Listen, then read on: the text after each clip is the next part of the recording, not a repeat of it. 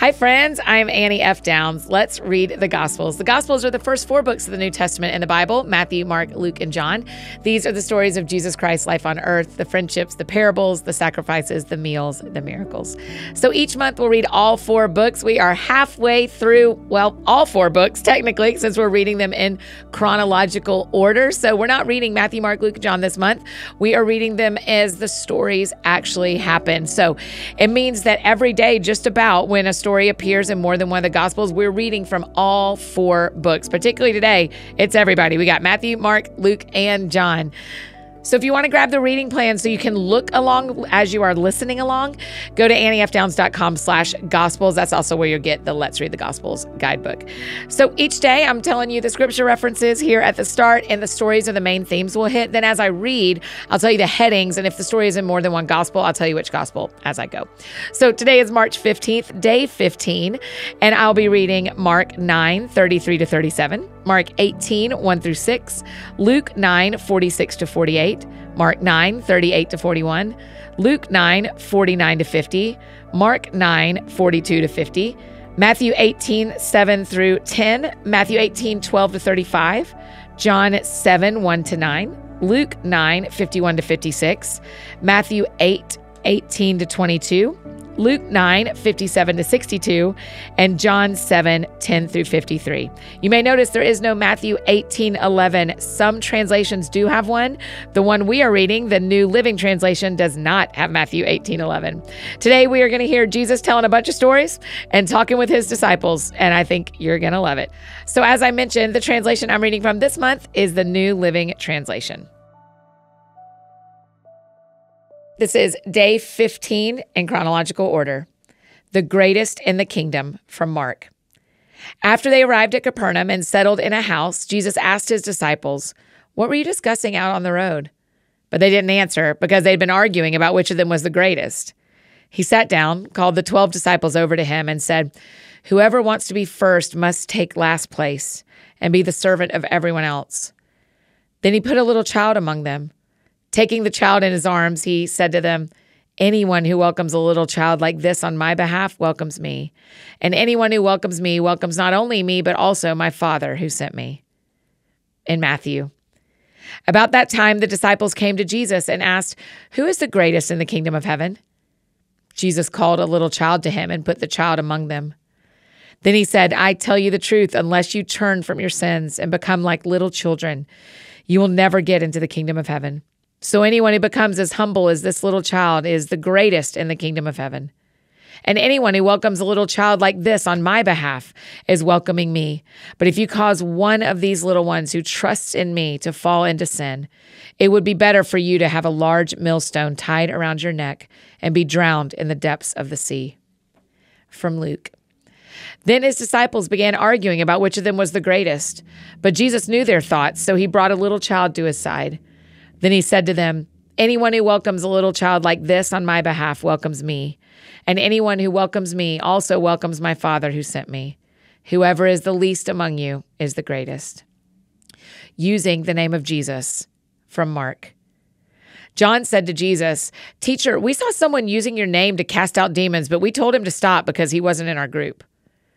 Don't stop him, Jesus said. No one who performs a miracle in my name will soon be able to speak evil of me. Anyone who is not against us is for us. If anyone gives you even a cup of water because you belong to the Messiah, I tell you the truth, that person will surely be rewarded. From Luke John said to Jesus, Master, we saw someone using your name to cast out demons, but we told him to stop because he isn't in our group. But Jesus said, Don't stop him. Anyone who is not against you is for you from Mark. But if you cause one of these little ones who trusts in me to fall into sin, it would be better for you to be thrown into the sea with a large millstone hung around your neck. If your hand causes you to sin, cut it off. It's better to enter eternal life with only one hand than to go into the unquenchable fires of hell with two hands. If your foot causes you to sin, cut it off. It's better to enter eternal life with only one foot than to be thrown into hell with two feet. And if your eye causes you to sin, gouge it out. It's better to enter the kingdom of God with only one eye than to have two eyes and be thrown into hell where the maggots never die and the fire never goes out. For everyone will be tested with fire. Salt is good for seasoning, but if it loses its flavor, how do you make it salty again? You must have the qualities of salt among yourselves and live in peace with each other. From Matthew What sorrow awaits the world because it tempts people to sin? Temptations are inevitable, but what sorrow awaits the person who does the tempting? So if your hand or foot causes you to sin, cut it off and throw it away. It's better to enter eternal life with only one hand or one foot than to be thrown into eternal fire with both of your hands and feet. And if your eye causes you to sin, gouge it out and throw it away. It's better to enter eternal life with only one eye than to have two eyes and be thrown into the fire of hell. Beware that you don't look down on any of these little ones, for I tell you that in heaven their angels are always in the presence of my heavenly Father story of the lost sheep. If a man has a hundred sheep and one of them wanders away, what will he do? Won't he leave the 99 others on the hills and go out to search for the one that is lost?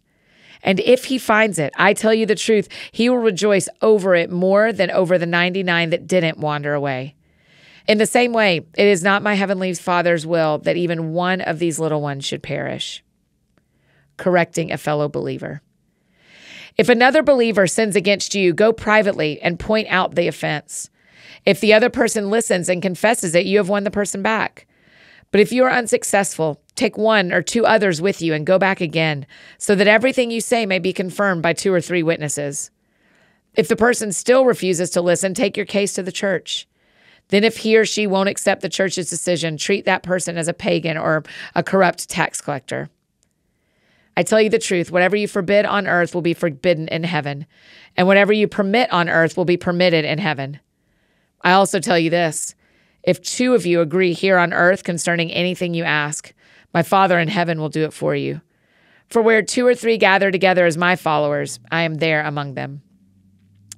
Story of the unforgiving debtor. Then Peter came to him and asked, Lord, how often should I forgive someone who sins against me? Seven times? No, not seven times, Jesus replied, but 70 times seven. Therefore, the kingdom of heaven can be compared to a king who decided to bring his accounts up to date with servants who had borrowed money from him. In the process, one of his debtors was brought in who owed him millions of dollars. He couldn't pay, so his master ordered that he be sold, along with his wife, his children, and everything he owned, to pay the debt. But the man fell down before his master and begged him, Please be patient with me, and I will pay it all. Then his master was filled with pity for him, and he released him and forgave his debt. But when the man left the king, he went to a fellow servant who owed him a few thousand dollars. He grabbed him by the throat and demanded instant payment. His fellow servant fell down before him and begged for a little more time. Be patient with me and I will pay it, he pleaded. But his creditor wouldn't wait. He had the man arrested and put in prison until the debt could be paid in full. When some of the other servants saw this, they were very upset. They went to the king and told him everything that had happened. Then the king called in the man he had forgiven and said, You evil servant, I forgave you that tremendous debt because you pleaded with me. Shouldn't you have mercy on your fellow servant just as I had mercy on you? Then the angry king sent the man to prison to be tortured until he had paid his entire debt.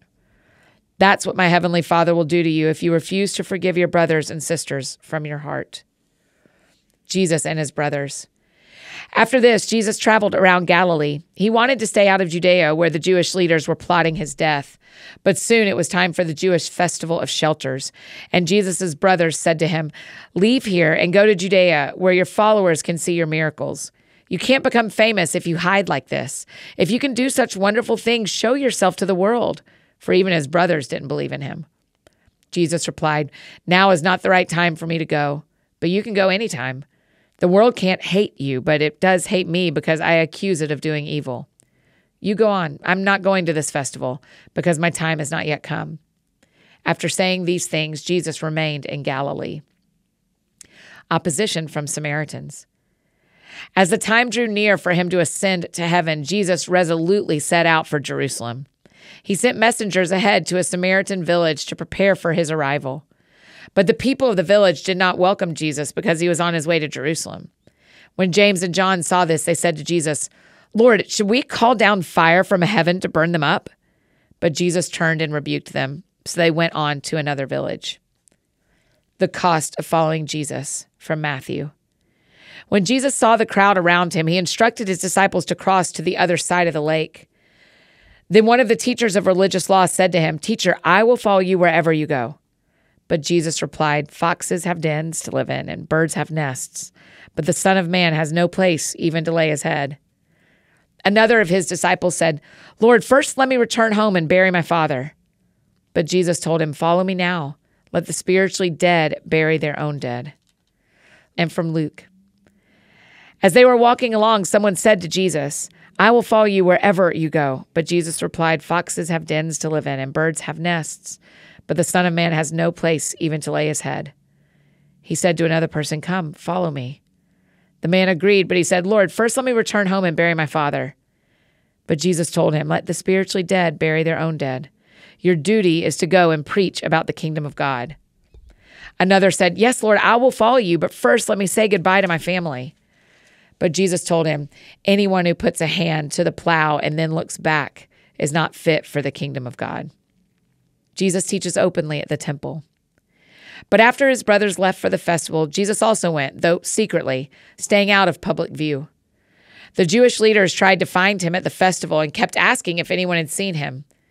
There was a lot of grumbling about him among the crowd. Some argued he's a good man, but others said he's nothing but a fraud who deceives the people.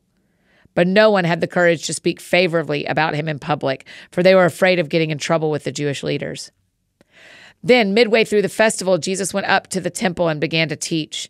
The people were surprised when they heard him. How does he know so much when he hasn't been trained? They asked. So Jesus told them, My message is not my own, it comes from God who sent me. Anyone who wants to do the will of God will know whether my teaching is from God or is merely my own. Those who speak for themselves want glory only for themselves, but a person who seeks to honor the one who sent him speaks truth, not lies. Moses gave you the law, but none of you obeys it. In fact, you are trying to kill me. The crowd replied, You're demon possessed. Who's trying to kill you? Jesus replied, I did one miracle on the Sabbath, and you were amazed. But you work on the Sabbath too when you obey Moses' law of circumcision. Actually, this tradition of circumcision began with the patriarchs long before the law of Moses. For if the correct time for circumcising your son falls on the Sabbath, you go ahead and do it so as not to break the law of Moses. So why should you be angry with me for healing a man on the Sabbath? Look beneath the surface so you can judge correctly.